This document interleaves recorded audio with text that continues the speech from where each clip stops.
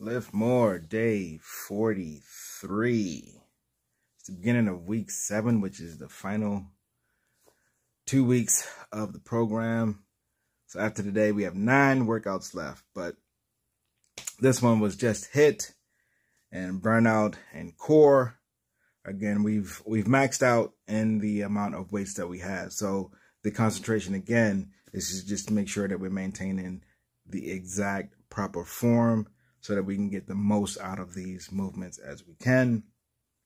And I think we're very successful with that. This weekend, took a quick trip down to Norfolk to uh, celebrate my best friend's vow renewal.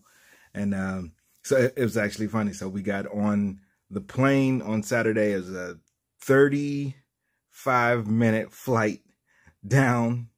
And then uh, we celebrated all Saturday. Took another flight yesterday morning, back up, another 35 minute flight into some bad weather, but it still wasn't bad at all.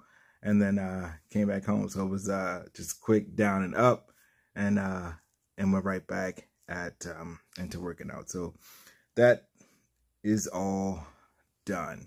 Looking forward to these last nine workouts, and again, just maintaining our proper form and uh, and going as heavy as possible, and to uh, to finish out the program on a uh, strong note. So it's I guess now is the time that we start thinking about what we're going to do next.